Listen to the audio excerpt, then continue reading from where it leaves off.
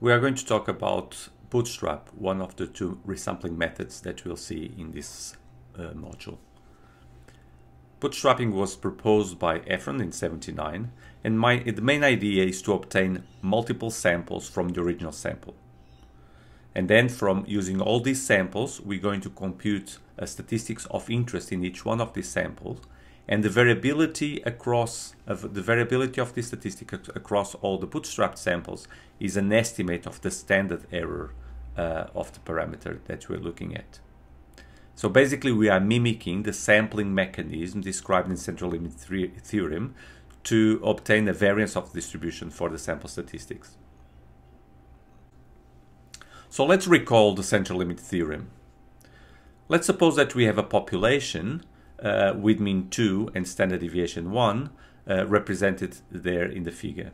Actually, this is a gamma distribution, and I chose the gamma distribution so we don't have the usual neat uh, symmetric distribution like normal distribution. So this is slightly skewed.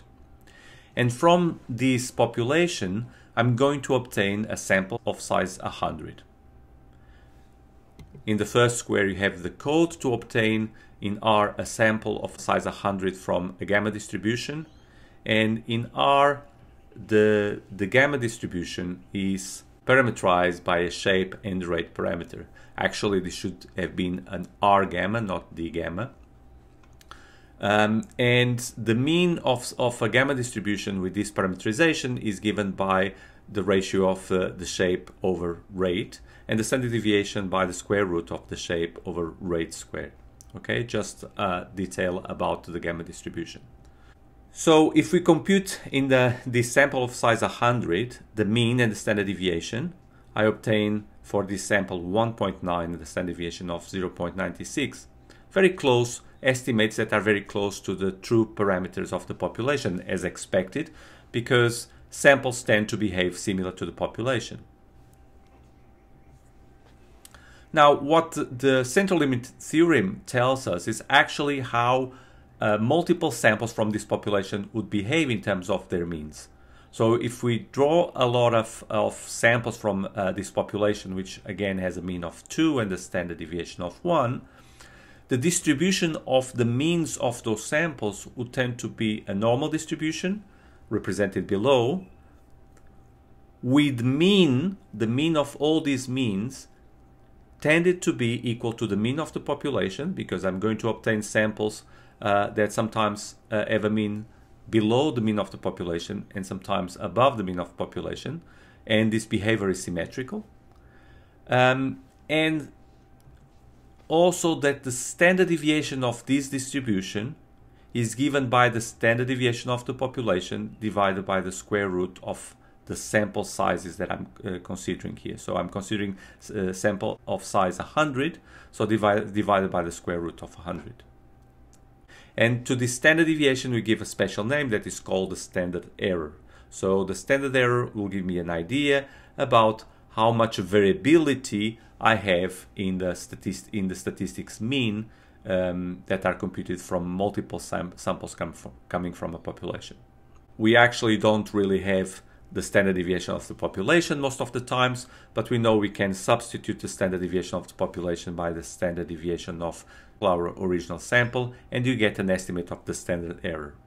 So if we go to our original sample uh, and compute the standard deviation of the original sample by divided the square root of 100, I get 0.096.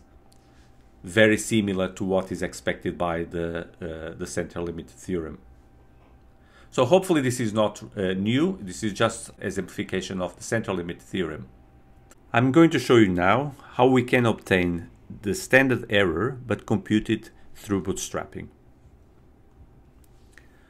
So let's consider our original sample, the sample that we took in the first place of uh, size 100. Okay, and I have represented there 25 values out of the 100 values of the sample. So we're going to obtain a new sample from this sample of the same size. So I'm going to obtain a sample of a, a, size 100 from this original sample.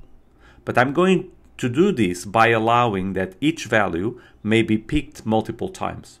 Okay, otherwise, obviously, I could only get one sample of size 100 from the original sample, which would be the same one.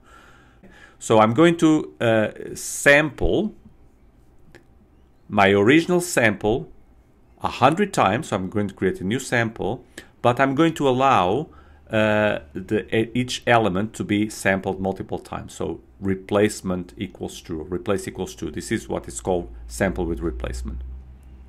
And I'm going to compute the mean of this new sample. I'm going to call it sample bootstrap one, the mean of bootstrap strap one, okay? And this is the mean of that sample. Now, I'm going to repeat this process many times, thousands of times. So I'm going to create a cycle where at each time I sample the original sample, of size 100, I compute the mean of that sample and I store it in this vector, okay? So the mean of bootstraps is going to be a vector that stores the 10,000 uh, samples of the different uh, bootstrap samples. Now, if I do a, an histogram for all those means, what I obtain is a distribution of the, the, the means, the bootstrap means, and this distribution is going to tend uh, to normality exactly as the central limit theorem uh, um, result regarding samples from the population states. Okay, but now again, I'm doing samples from a sample, not from the true population. So the mean of this uh, distribution, it's not around the true mean. If you recall the population that mean 2, so it's not going to be around that mean, it's going to be around the mean of uh, the original sample. Okay, but the standard deviation, the standard deviation of this distribution, it's going to uh, be very similar to the, the standard deviation of the distribution of means from samples from the population. So it's going to be very similar to the standard deviation uh, stated in central limit theorem. So if I compute the standard deviation of all the means from the bootstrap, so standard deviation of the means of the bootstraps, I get 0.095. So this standard deviation, it's, uh, it's very similar to the standard error, which is the standard deviation of the, the, the distribution of sample means, the standard error that we computed earlier uh, using the result of the central limit theorem, 0.96. Okay? So what's happening here is that this bootstrap process is mimicking uh, the, the, the sampling distribution uh, from the parameter of interest, but despite the fact that in terms of the position of this distribution being uh, around the original sample, um, the shape is going to be very similar to the true sh shape of the sampling distribution. So here I have on the left histogram, I have the distribution of many samples uh, drawn from the population. Okay, so this is uh, this is what the central limit theorem states, and the distribution of the samples tends to be normal around the, true mean of the population. So too, and with a standard deviation that is given by the standard deviation of the population div divided by the square root of the sample sizes. And on the right side, I have the distributions of the bootstrap samples, so samples from the original sample. And despite the fact that, again, it's going to be centered in the wrong place because it's going to be centered around the, the, the, the mean of the original sample, its shape, the shape of this distribution is very similar to uh, the sampling distribution. So I can use this to get the standard deviation of, uh, um, of, this, of the sampling distribution, which gives me the sample error. Okay.